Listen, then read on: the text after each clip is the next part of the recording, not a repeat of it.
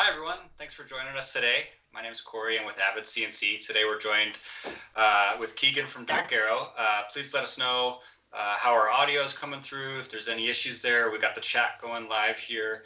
Uh, we'll be monitoring questions. We'll probably come back at the end for a more formal Q&A, but we'll see if we can get to them as we move through here.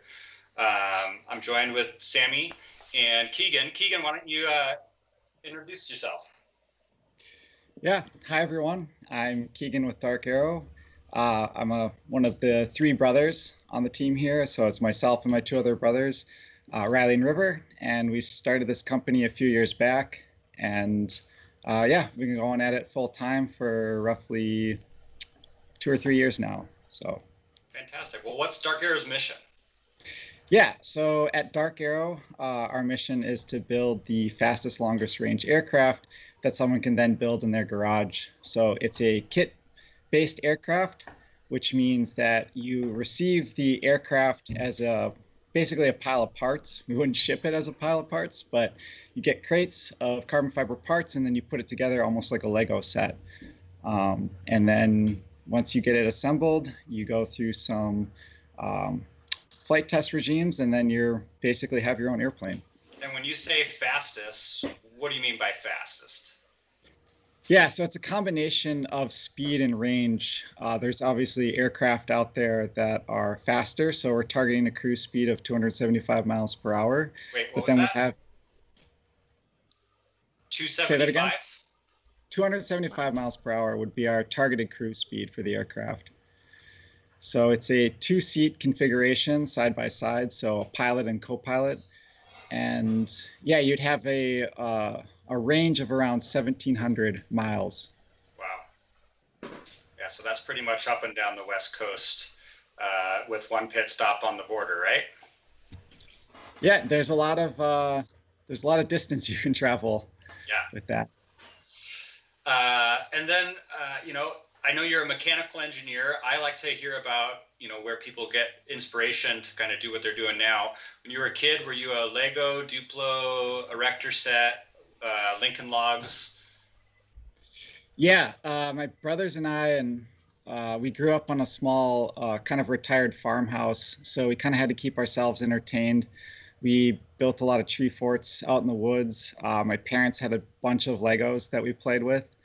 Our grandpa was an aerospace engineer at Boeing, so we'd get dropped off uh, after school and hang out at his place, and he always had model airplanes and different things that he picked up um, from a yard sale that we had to put back together. So I think a lot of it stemmed from those types of activities when we're growing up. Yeah, yeah, that's fantastic. Well, I'm very interested in in uh, something I think you're very good at, which is machining carbon fiber materials. And so I was hoping we could get some tips and tricks for maybe some work holding, tooling selection, and then maybe some cam techniques for machining carbon fiber on one of our machines. Yeah. So, uh, full disclosure, um, when we started the company full time, uh, the Avid CNC was one of the first pieces of machinery or equipment that we bought. And I think I spent a lot of time on the phone with technical support just getting it set up. So, my background is not in machining. It's I, w- I had an office job um, sitting at a computer as a mechanical engineer. A lot of it was just um, PowerPoint and spreadsheet. So there was definitely a learning curve for me learning how to machine and especially learning how to machine carbon fiber. Yeah. Um, carbon fiber is really tricky because it has so many variables to it. Um, there's different weave types that you can have. There's different epoxies that you could have with that weave type. And depending on how you machine it, it might react differently. Um, but in general, in general terms, it likes very high spindle speed and it wants a tool that is essentially going to grind it more than cut it. Mm. So you can get you can get a tool um, that has it looks kind of like sandpaper wrapped around the end mill, right. if you will. Um, there's PCD is one of the most more popular ones, but they're very expensive. You can also use carbide um, with a coating but that tends to wear out quicker. It all depends on what your budget is and uh, I guess what you want to accomplish There's a balance and how much carbon with fiber. the tool life and then Yeah. the cut quality and the quantity of parts you have to make and Yeah, and we uh, uh, we spent a lot of time just experimenting with different end mills, different feed rates, different speed rates. We had a whole spreadsheet going of what worked and what didn't work. nice. Yeah. So I'm I'm hesitant to throw out like here's Mhm. definitely what you need to do because I'm guessing it would change based on what carbon fiber you're using, um, what your what your goals are for what you're cutting. So there's just there's just so many variables involved. Um, Yeah. Well, and I talk about variables as a big as a big factor in determining a feed and speed and observation after a guess, right? Because you have to start somewhere uh, with a guess and then you observe and try to refine refine that a little bit. And so it sounds, uh, uh, you know, when we talk about, I'd like to focus on the chip that we're Yeah. we're asking the machine to create, but it sounds like we're creating less of a chip and more of a, of a shaving or we're, we're, we're shearing individual fibers. When I hear you say rubbing or grinding, we're not actually creating that that chip. We're we're we're or we're the chip we're creating is very very small. The, yeah, it's almost like a debris that you're creating. And Yeah. one good uh, tip that I could give is that evacuate your chips or your debris as good as possible. So we have a dust shoe that's more of a generic dust shoe that we designed for plug machining. We ended up using it for uh, carbon fiber, which might have been asking too much. But in an ideal scenario, what I would do is I would have a almost like a compressed Mhm. air line directed at your end mill, making sure that that was blowing the chips out, and then a vacuum line sucking as much of those chips back in, and then making sure you have a really good HEPA filter for all of that. So all of the machining that we do out in the shop, we're very, very safety oriented when it comes to cutting carbon fiber. Uh, you don't want that getting in your lungs. So we actually have a little device that monitors the air quality when we're out here. And if it gets too it gets too bad, we'll definitely open up the door or we'll pause our machining and we'll try to clean that air out. And So- uh, Yeah. did I see that sometimes you put a plastic sheet around the machine to make a kind of pop-up room sometimes when you're machining? Yeah, we we did that in the beginning when we were doing a lot of carbon fiber panel machining. We had basically a little tent or a little cocoon for the entire uh, router itself. So a lot of the um, air quality issues, if you will, were contained within that region. So we just had a simple box fan set up with a HEPA grade, uh, one of those square filters, and that was helping to filter that air in there. So yeah. that was something we did in the early stages, but we have that taken down now because we're not doing as much Mhm. carbon fiber. Right, cutting. but that's kind of like an Yeah. idea of if you're moving back and forth during materials, you have this pop-up thing that you kind of reach for as a tool sometimes when you're bouncing between different materials and knocking out different parts. Um, one of our uh, uh, content creators, Olivier, he's from France, has a question about uh, do you only cut carbon fiber in thin sheets? I, I think that you have a variation of the different types of carbon fiber that you utilize, right? we do uh, the majority of what we do is like 2D contour cutting. We've done some really basic 3D contouring on a very uh, limited uh, thickness. So the thickest that will go is around half an inch. And uh, yeah, I, I was showing this a little bit earlier off camera, but this is kind of one of the templates of what we've cut out for parts. So this is a half inch thick sheet billet of carbon fiber. And we cut a bunch of these small like brackets and bell cranks out of there. And some of them have some 3d geometry to them but for the most part they're i would call them 2d shapes. And are you doing a, a fast and shallow type of pass or a slow and deep type of pass or, or a combination depending on the geometry? it's definitely a combination depending on the geometry um, and what kind of cutting you're doing. But for the most part it's um, i wouldn't call it fast. It's just given the materials and the epoxies that we use um, i'm relatively slow i would say with the cutting it. So, and then what type of diameter uh, tools are you using? We pretty much stick with bread and butter. It's like a quarter inch end mill and then an eighth inch end mill for the majority of our stuff. A lot of our parts have pretty, um, pretty small radii, so Yeah. we like to get in tight with the the end mill. Um, in our earlier days, I definitely broke a lot of end mills trying to get more detailed geometries for carbon fiber. Yeah, and so with that quarter inch end mill uh, as a starting point, are, are you in the 100 inches per minute or 20 inches per minute? Where where typically do you start when you have a new weave Yeah. or a new epoxy that you're going to try to do some testing on? I guess where where's the first place you throw the dart at? Yeah, we're probably in, in the range of like 60 to 80 Mhm. for our feed rate. Yeah. Cool. And then if we're doing panels, panels are a lot thinner. So Yeah. we'll do uh, carbon fiber panels. That's like a thin sheet of carbon fiber. Um, and then you've got a honeycomb structure inside, like aluminum or aramid, and then another Mhm. thin sheet of carbon fiber. You can rip through that a lot quicker than if it was a solid billet.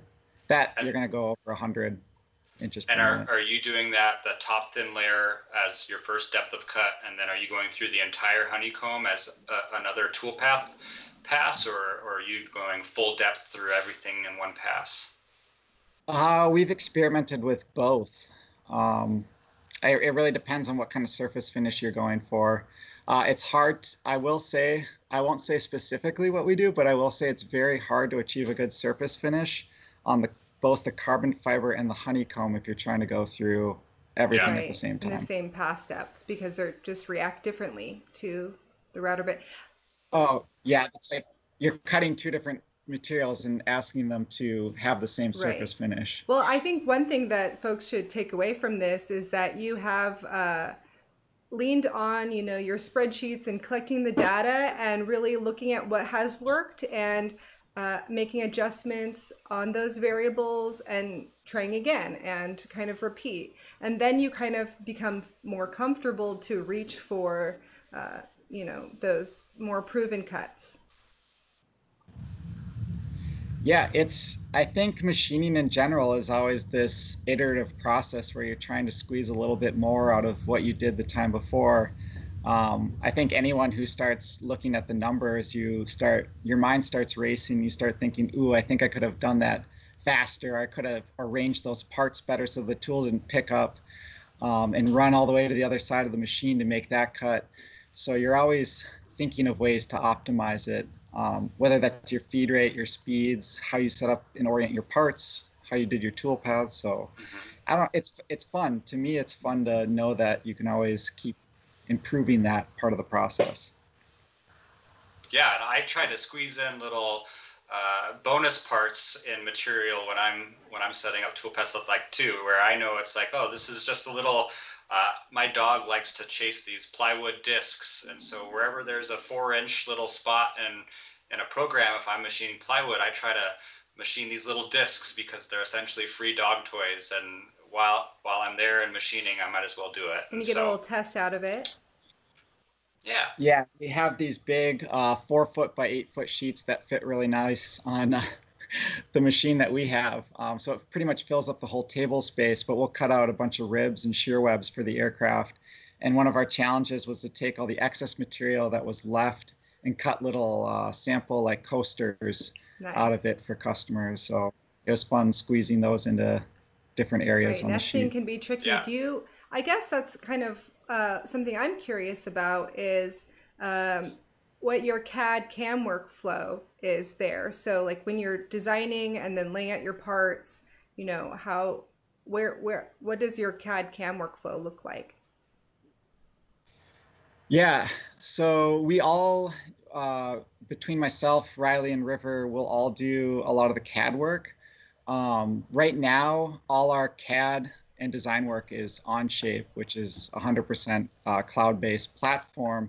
And like we were mentioning earlier, our, our kit is, um, our aircraft is a kit design. So we have to provide instructions with that kit. So we have this ambition of having a lot of the CAD integrated in with the instructions themselves.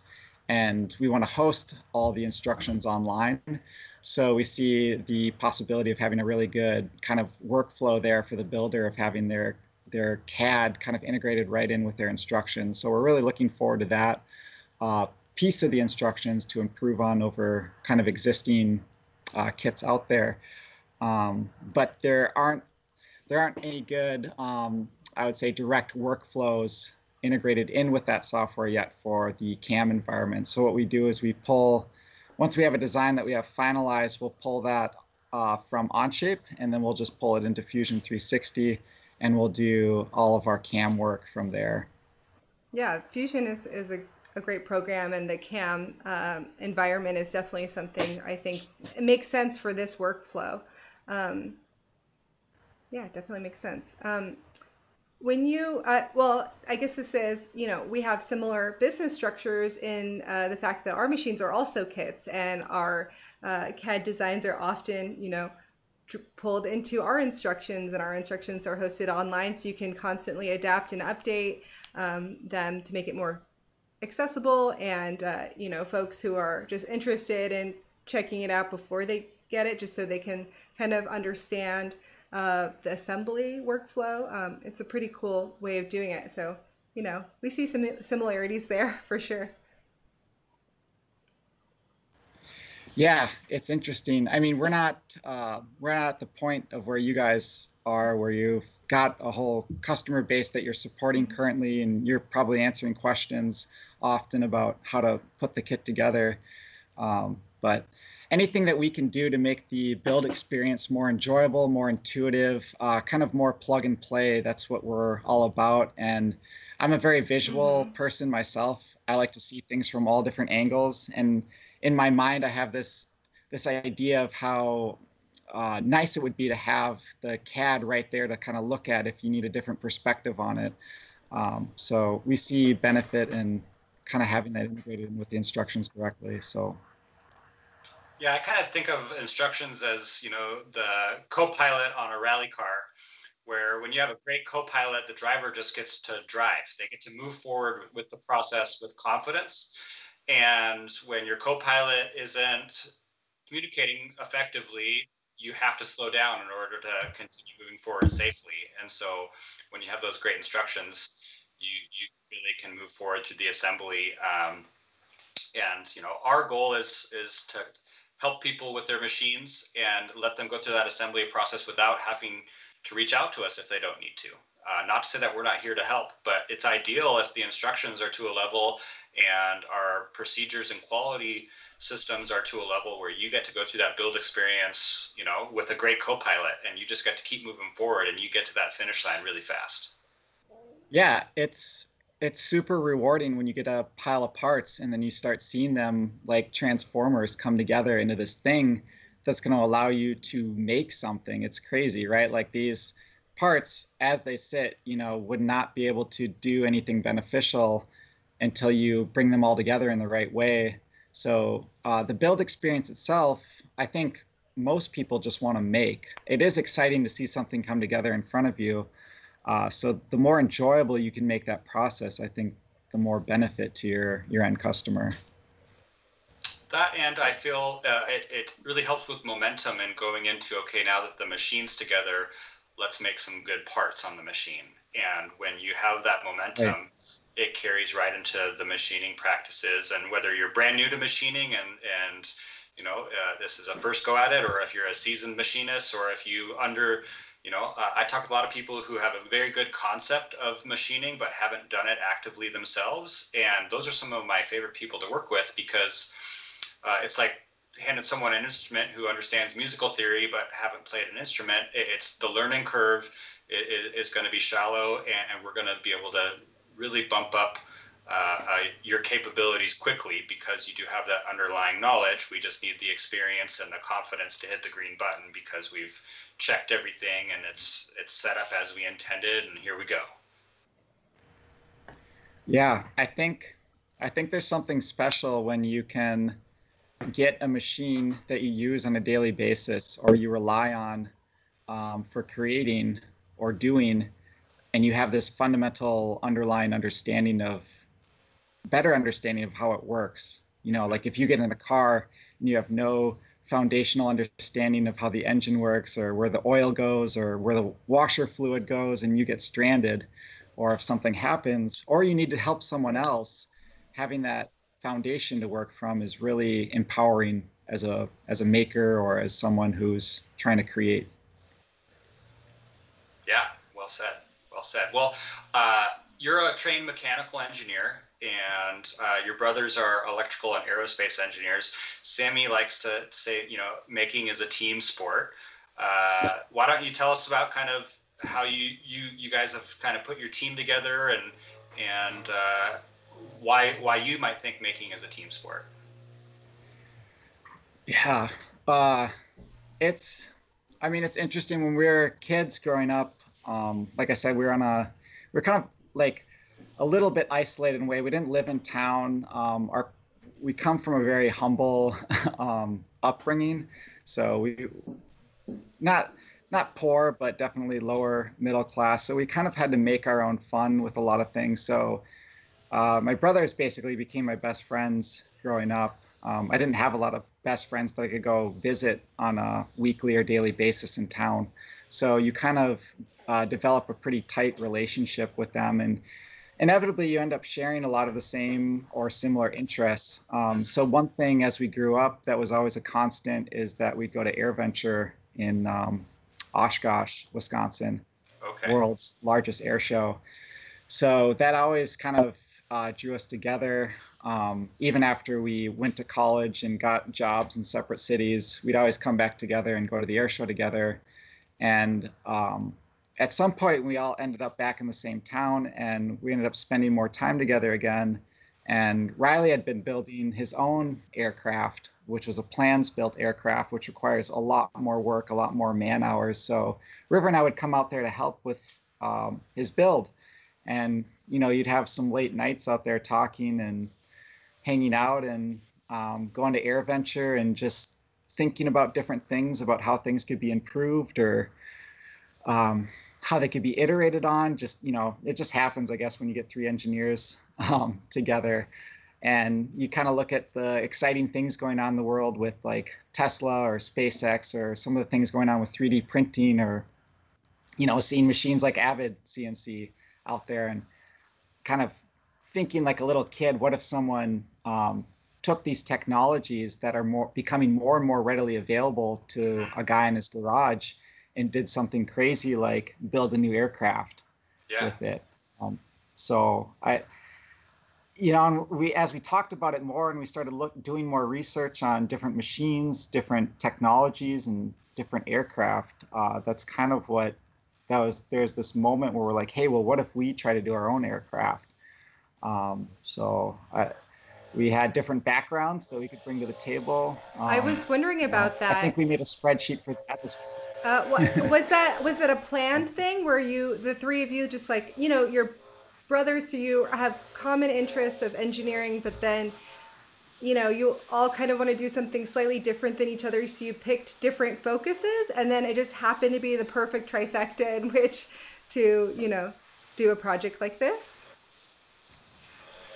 Yeah, it's weird. Um, there wasn't any like secret master plan that brought this all together. It was River was the guy who was always um, he was always the electrical mm-hmm. guy, um, pulling computers apart. He built my mom's computer um, he was always the guy to go to to um, get something fixed on the like electrical side. So it, it, was pretty clear like where what his path was or what he wanted to do. Uh, Ryley had been sketching different aircraft designs since as long as I can remember, um, and then I'd always been building stuff as well. So yeah, there wasn't any secret master plan. It was more like we just naturally kind of fell into these different mm-hmm. roles, I guess, based on our interests. Nice. Well, that's awesome that you could really um, each do a like the thing that you're passionate about, and then have those uh, parts fit together uh, really well, so you can collaborate and and yeah. get to come together. And then then it kind of turned into this business. Was it originally something like, okay, we, maybe we can build our own aircraft because we see all the kinds of things that we would change in this other kit, and maybe we'll make one. And then was it just like, oh, this is something other folks would like also? Yeah, I think so. We all had this like different aircraft are made for different mm-hmm. missions, and we had this um, kind of this fantasy mission in mind for speed and range that we all um, that we all kind of like liked. We liked the idea of an aircraft that was very nimble but very practical and very optimized. Um, you know, there weren't any extra doodads or extra features on there. It was kind of like kind of boiled down to its raw elements. Um, and we like the idea of that, just like really hardcore optimization. Um, and yeah, speed and range is, is a good a good mission for something like that. Um, and then another part of it was just the experience of, um, you know, helping Ryley with his aircraft. Uh, I don't think a plans-based aircraft is a good comparison. That's where you you literally get a manual in the mail, and then you yeah. buy all the raw material. Wow. Um, this so so our our plane is a little bit different where you actually get parts and you and you bring them together. But I think it was just the the frustration of trying to to put a plane like that together. It was like maybe there's maybe there's some improvement to be mm-hmm. done there as well. Just for um, the genuine experience so, of it. Yeah. Um, someone, yeah. uh, Sean Collins has a question. Um, as someone who's designing an aircraft in Fusion 360, do you have any tips for transferring it to uh, traditional medium like 2D drawings? Um, yeah, so I'll admit my my design um, my design skills are more based mm-hmm. in Onshape. I haven't worked a lot with the design in Fusion. Um, most of my most of my forte is in the CAM environment there, so I don't know if I would be able to give some solid advice on that. Well, um, it brings up a, a great point because I really feel like there's three different tasks in order to get a quality part off of the machine, and you have the design task, you have the toolpath creation task, and then you have the machine operator task. And I feel like those are three very distinct, different tasks. And uh, you saying I don't do a lot of uh, design and fusion is a is a very fair answer. Um, yeah, and it. I feel now that that question's being asked, I feel very spoiled in a way because I think where the question is going is you're wanting to create these 2D drawings. I, I'm I'm speculating, but when you create a drawing like that, you're essentially defining here are the mm. exact things that I need out of this part in hopes that you hand that off for someone to go make. Um, we're spoiled in the sense that um, given the fact that it's just the three of us and we have such a tight relationship, we can kind of discuss those things in a closed mm-hmm. loop. And because we have the full integration of the the CAD work, the CAM work, and the machine in our shop, it's a very tight yes. feedback loop. So it, I haven't even thought about that question really up until this point, um, because so little of what we do is outsourced. Um, and and again, maybe I'm off on that, but that's kind of where my head is going. Thinking yeah, well, and essentially in development or prototyping, that feed that the that feedback cycle being short and fast allows for you guys to be successful quicker, right? That's a great aspect uh, uh, of your your model is that that feedback loop is short and and you can iterate quickly and cost effectively yeah and what's crazy is that when you what, when you have this machine i think most people would think well that only has eight inches of travel you know and you only have four feet by eight feet to work with how are you going to create the plugs for an entire aircraft that definitely exceeds the volume capabilities of that machine?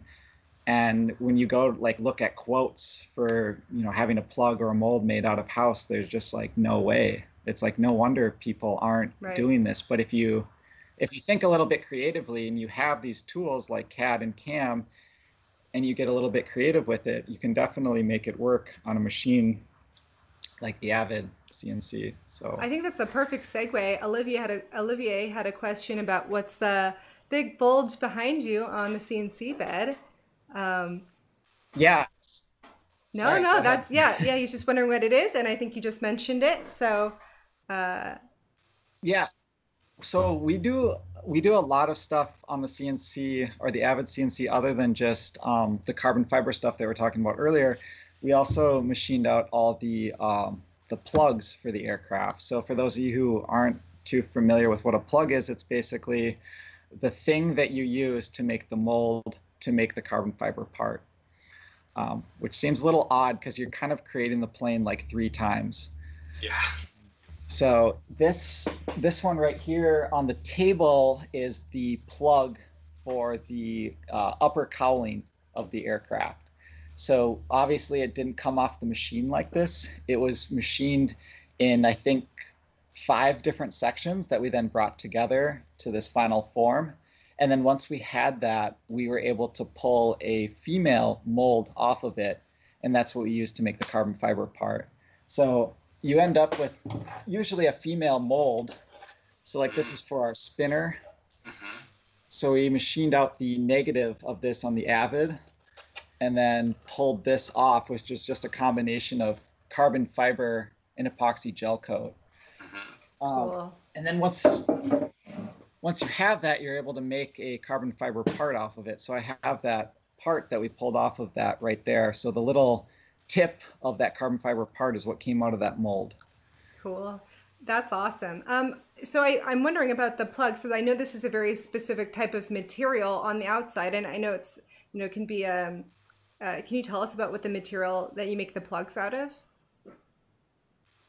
Yeah, the material itself is just called tooling board. So if you do a search for tooling board on Google, there you're going to have a million hits for a bunch of different. It's basically foam, and there's different density levels that you can get um, for that, and a bunch of different suppliers out there. But it's basically um, it's an engineered board, if you will, kind of like MDF, only it's um, it's a lot more. Uh, it's a lot less particular about like humidity and Mhm. temperature changes. It's a lot more stable under those types Right. of conditions. And out So, there, in uh, you're in Madison, is that right? Uh, and so you probably have a lot of temperature changes between uh, winter and summer. So making sure you have a really stable material where those molds aren't going to uh, change over time is a really important thing. So that tolerance that you get out of your material specifically um, is going to add to your final product. yeah, it's funny as you're saying that, and I'm almost embarrassed saying this out loud, but especially given that I'm an engineer. But I remember when we were shopping around for routers and we came across yours, the the thing that we would look at is we'd scroll right to like what kind of tolerances can I get, or what kind of um, you know what kind of accuracy does it have? What's its precision? And you'd like nerd out on those values and you, we had like a spreadsheet going with all these different cnc routers and we're like which one's the best only looking at those and you'd hear stuff written down that's like oh well it depends on the machinist you know and it depends on how you set it up. And i'd always be like yeah yeah yeah but like what is the machine Right. capable of? You know? Um, but it totally is this um, all-encompassing thing. It depends on you know how do you set up your machine? How how do you work hold? How do you set up your tool paths? Um, all of that goes into your final dimensions that you end up ultimately getting out of it so the machine is important but you can't neglect these other variables that definitely play a role Right. That and I think just embracing the tolerances that you want to achieve. Like just because the machine can hold a certain tolerance doesn't mean that should be your effort as the operator, um, because you don't you don't need to get to that fine of a tolerance um, potentially. Yeah. I think you do talk about this in maybe your CNC setup part one or two. I can't remember, but uh, you talk about you know your spoil board is is it HDPE or uh, and um, you know you recognize that the machine is sitting on cement and the cement floor will change because of temperatures outside and you re-level and readjust every quarter uh, to accommodate for those changes. So knowing that you know the technician and uh, the setup of the machine has to be uh, adjusted in order to get to those fine tolerances that you're looking for. Yeah it's definitely um, something you can't neglect is you have to stay on top of like what is your procedure for getting a good part. Um, so for every like every plug that we're going to make on this on the machine uh, in the actual when we're setting up the tool paths for it we'll actually have information like what is the date uh, what is the temperature in the shop that day what is the humidity in the shop that Mm. day um, when was the last time you releveled the machine that way you have all that information in front of you um, so that you're kind of armed with that going into the machining process Mhm. which is also helpful when you're pulling the when you're pulling the mold off of it because you want the mold at those same rough environmental conditions as well because even with large temperature swings after you machine it it can still grow and Mhm. expand as well So- Yeah. Can you tell us what you coat your molds with? The uh, is that Yeah. coated? Yeah, this is just uh, this gray material that you see is basically just like a resin. It's just an epoxy gel coat. So it's um, just think of it like a yeah, like an epoxy or like a you know when people create those wooden tables and then they fill like a, a valley Yeah. with uh, resin. It's it's essentially the same uh, family, if you will. And then you put a, a, another type of resin in there with the the fiber, and then is it pulling Uh, that gel coat out, or Yeah, so the the mold itself, it comes off the machine and you're going to have little no matter how what your step over is, you're always going to have these little tooling marks. So I'm kind of going through the process here, but you pull it Yeah. off the machine, um, you sand it to your desired uh, finish level, if you will, and then you put on a series of mold releases on there, and then you apply your epoxy gel coat, which is just mixed. It looks like paint almost you paint it on there. You can use a paintbrush, you can use a roller, and then you lay carbon fiber cloth on top of that, and then you build up a, a structure to support that. Um, and then you pull it off, and you have your your mold essentially. And then you do a mold release on your mold, and then it's it's basically ready to make carbon fiber parts. fantastic? Oh, that's awesome. So you have to do this kind of really hands-on workflow for most parts on the plane, right? So how do you kind of, I guess, uh, refine your prototyping uh, process so you're not having to over to do this process over and over and over again in order to dial the parts in? Is there something preliminary step before you uh, cut the part? You know, do you put your um, uh, parts through simulation you know i'm not sure what you know i'm sure you have to uh, compensate for a lot of different Yeah. loads and that sort of thing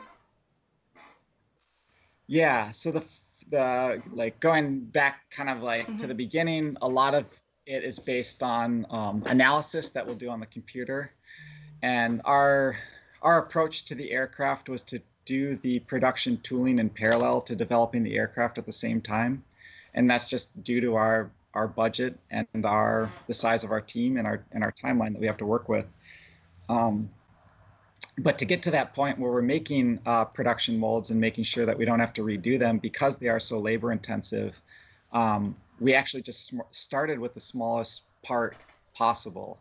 So uh, we basically made the horizontal stabilizer, which is like a little mini wing that sits behind the main wing Mhm. on your aircraft. We're like, all right, that's the smallest assembly on the entire aircraft. So to get an idea if we can replicate this process for the rest of the plane, let's start with that because it kind of has the lowest stakes in terms of material and time and, and manpower. So we made the first set of plugs for the horizontal stabilizer and we just tried a bunch of different things. We tried different cloths, different epoxy gel coats, different mold releases. We tried different machining setups. Um, I think one of the very first machining setups we did for machining out um, one of the molds or one of the plugs is we just pinched the material down on the table with like a set of two by fours because we didn't know what we were doing. Um, but there was a huge learning curve that happened when we made the horizontal stabilizer. But from that, we learned exactly what we wanted to do for our main process so that we went to making the wing and the fuselage, we had that all dialed in. But when we made the horizontal stabilizer, we ended up remachining every single plug and remaking every single mold. Because by the time we got done with it, we had figured out okay, this is working really well, it's getting a really good result. Um, we're going to replicate this and kind of sign it off as our kind of production process for making the rest of the parts. for it. Yeah. So definitely start small and work your way up to bigger parts and make mistakes on the small parts Mhm. first. So, I mean, I was still learning how to run the machine when we were making the horizontal stabilizer plugs for it. So, I had some awkward tool path transitions that happened in corners of the uh, the plugs that left some ugly tool marks in them. But yeah, it was a learning experience.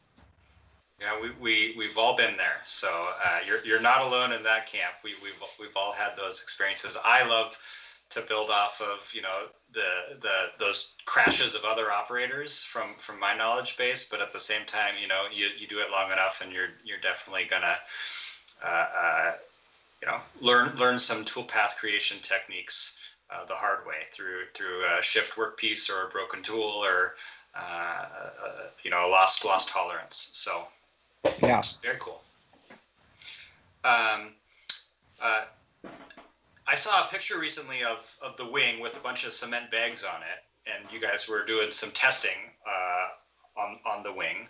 And tell me a little bit about kind of how you guys go through your testing procedures. Uh, and are you making fixtures and jigs and these things on site? Is that part of the testing procedure? Is is the fixturing and and the, the jigs that you use?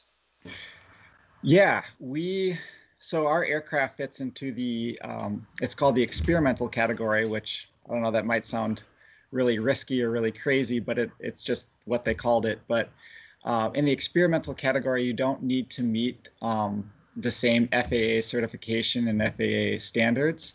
Um, but what we do here um, is we try to follow them as much as possible. Um, so for the wing load test, that is, um, there's an FAA document that kind of tells you how to set up your test, how to check your uh, pass fail criteria, and all of that. So for the wing load test in particular, we followed an FAA standard for that. And then we built a, we had to build up a test rig to properly hold the wing. So uh, a lot of the parts were machined out on the Avid to get the right angle for the wing. And then, um, yeah, just basically following a, an FAA guideline for setting that up for the test procedure. But And how of many the bags same- of cement was it? Um, I guess it depends. We did we did a number of uh, different G loads, if you will, for it. Um, but some of the I'd have to, you know, I don't actually know. I was I was the one putting the bags on the wing. I was not the one recording the data, so I'd have to go back and count on the actual wing itself. So, Yeah. Well, it, it, it looked like a lot of bags of cement. I've moved plenty of bags of cement in my life, and, and that looked like a, a, a good group of them.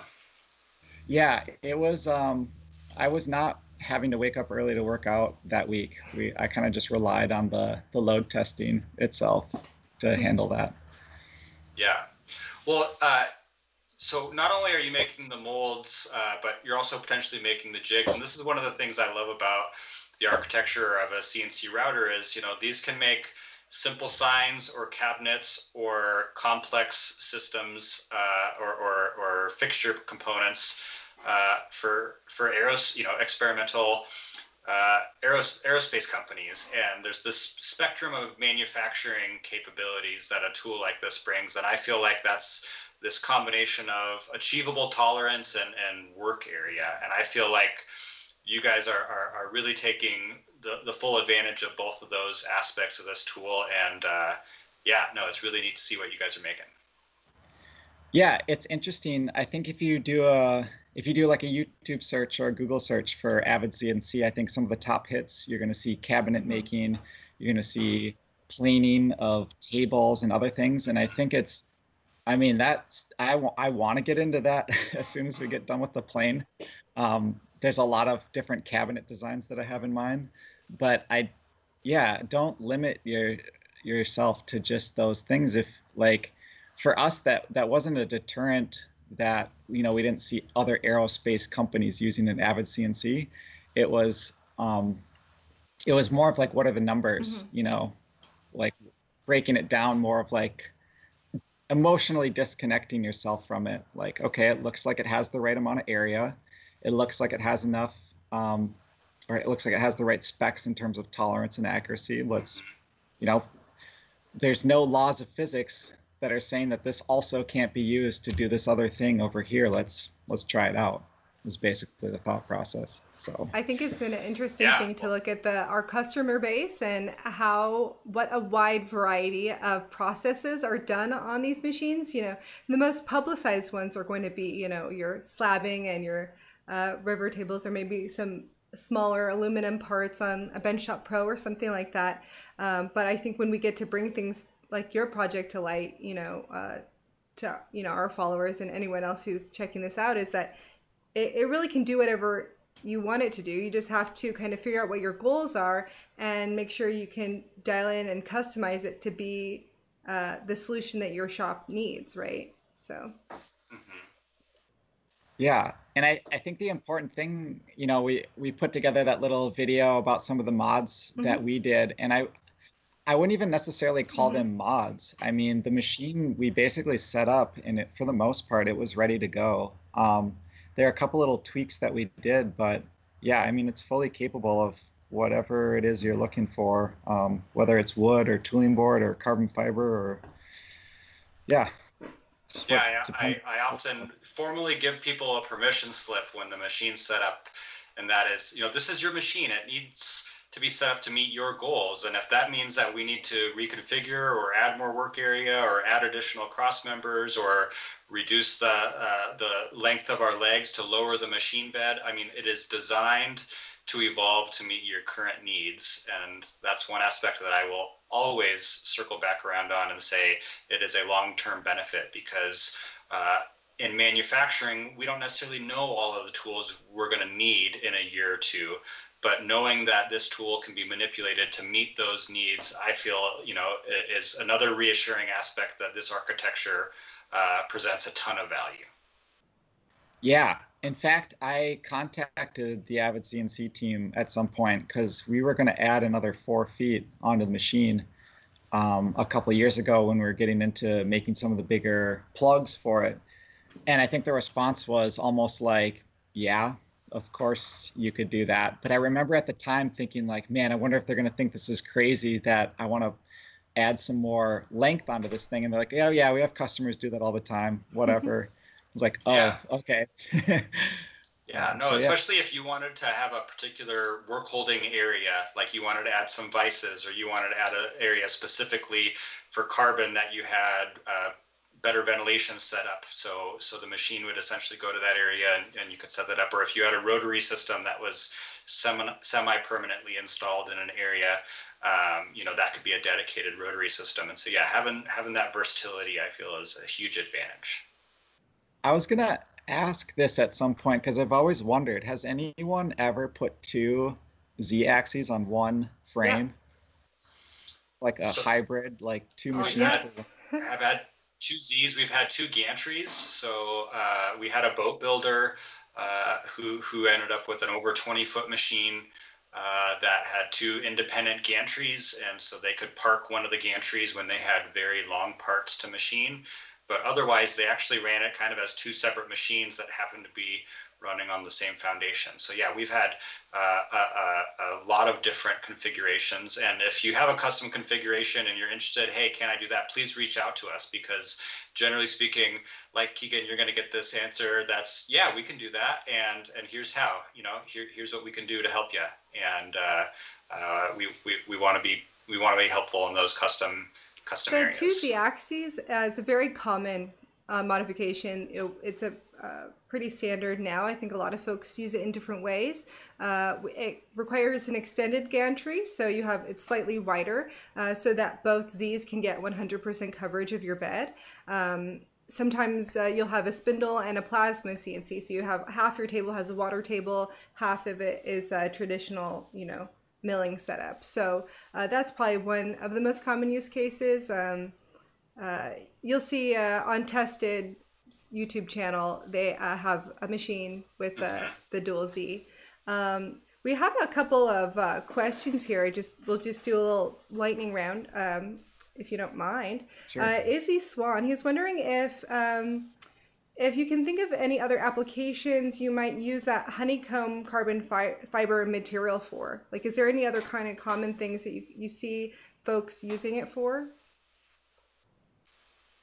Yeah, it's pretty much in anything that you need strength and lightweight. So it's very common in air aircraft. It's also very common in boat building. Mm-hmm. Um, it's they use it as paneling in the walls for different type of commercial aircraft. They use it in the structures of of aircraft and boat building. Um, it also doesn't have to be flat. You can take that honeycomb and you can actually use it as a as a core material um, and bend it and do different curvatures with it. So yeah, it's a very versatile uh, material. It, it doesn't even have to be for something as extravagant as a commercial airliner either. People use it in drones, um, RC, different RC projects. So Adirondack chairs. What's that? Probably no. He's just joking. Izzy Izzy Swan makes um has a really wonderful. She's designed hundreds. Adirondack chair uh, design. Yeah.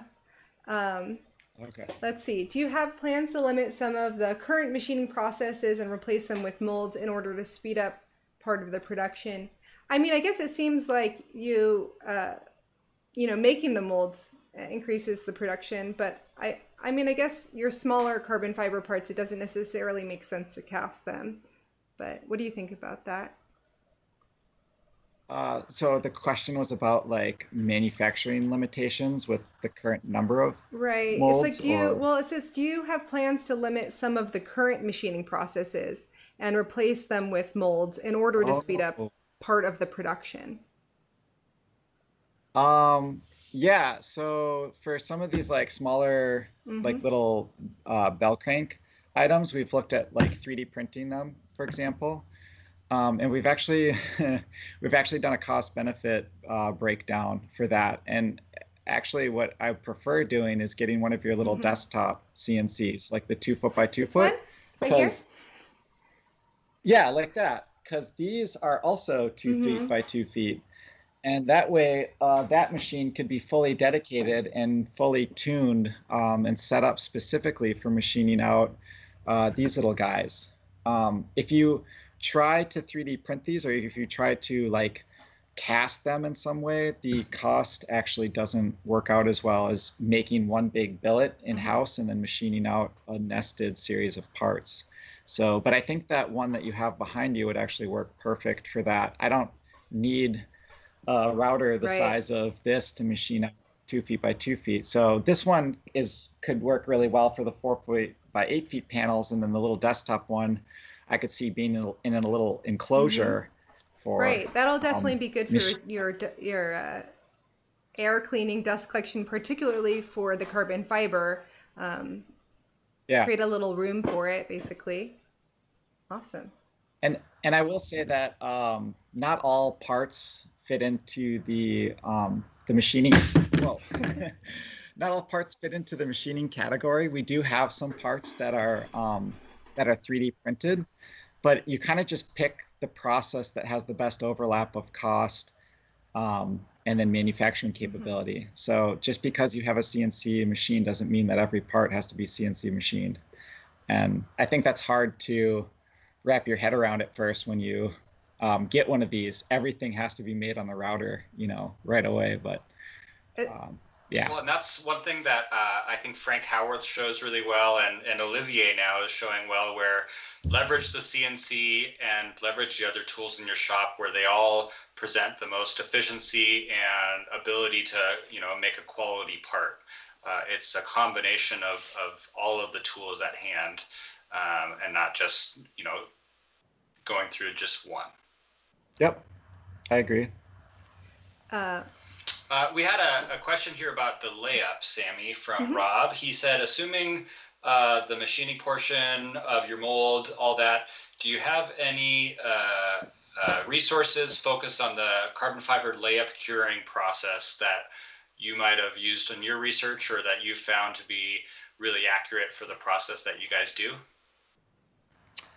Um, I so what we're doing actually is we're trying to build up that information for others. We've kind of been contacted um, almost daily about those types of things, like how do you do your machining, how do you do your carbon fiber layups, how do you make your molds, and we're trying to build up our knowledge base on our website. Um, not trying to, I guess this is kind of a plug. Do it. Yeah. if you go to a knowledge base, we're building up that type of information um, just because we have had to kind of get getting those repeat questions like mm-hmm. that. Um, so, I mean, that would be a good resource um, in the near future.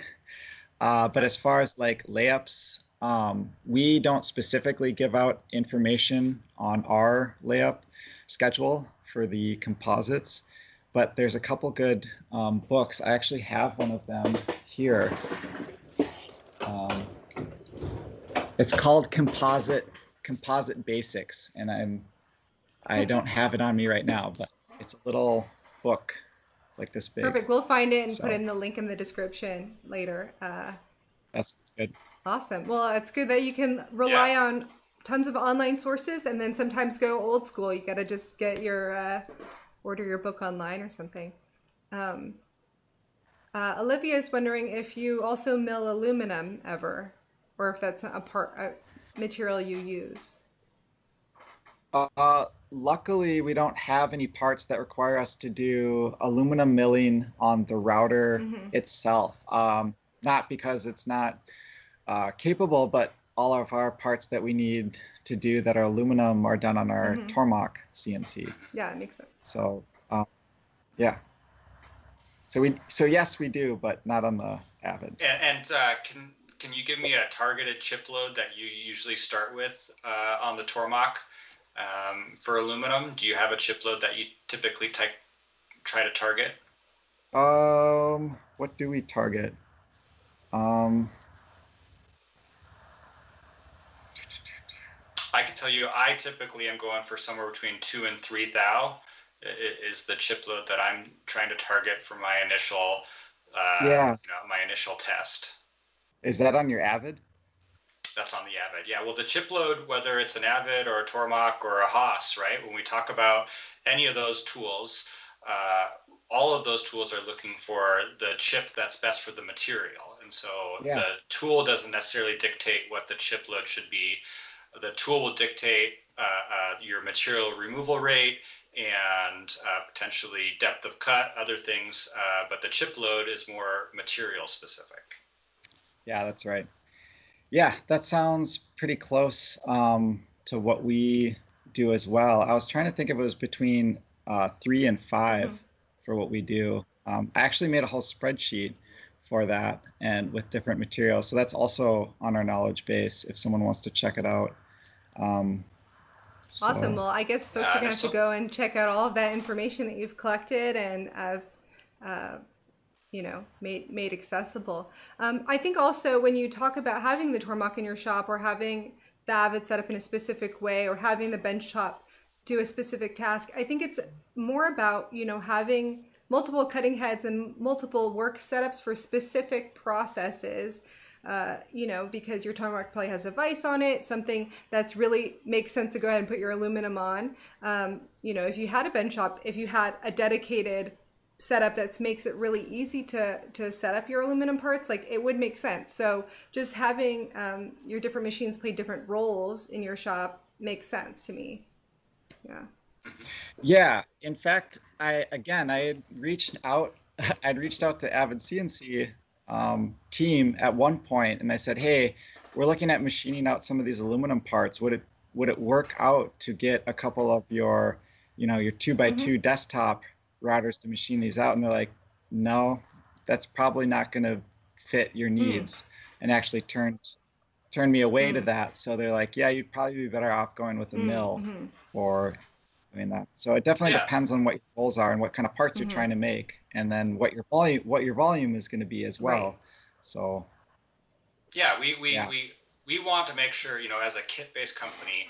Uh, achievable tolerances, you know, it can't just be for the perfect machinist. It has to be for, you know, uh, our entire customer base. If, if they do follow our assembly instructions and, and they use good work, hold te- work holding techniques and CAM practices, it is an achievable tolerance. And and uh, when we talk about certain types of tolerances, especially for aerospace components, they're just beyond what our machines are listed as capable. I'm not saying you couldn't get that part off of one of the machines, but um, you know there are machines that are designed to meet those tolerance requirements and that type of an environment. And we're always going to point you towards those when you come to us as as with that being your goal.